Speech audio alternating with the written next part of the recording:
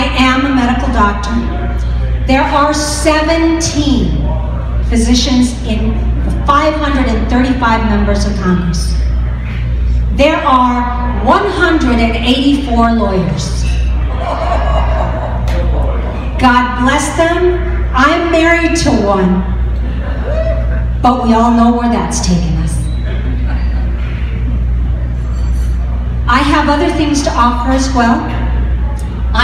One of the few doctors that has read, reviewed, testified, and helped amend legislation for our own state of Nevada, and sometimes given advice to a congressman that sits in this seat right now. I know Obamacare very well. That's important because we need someone that on day one, ladies and gentlemen, day one, can walk in and read and rewrite those bills.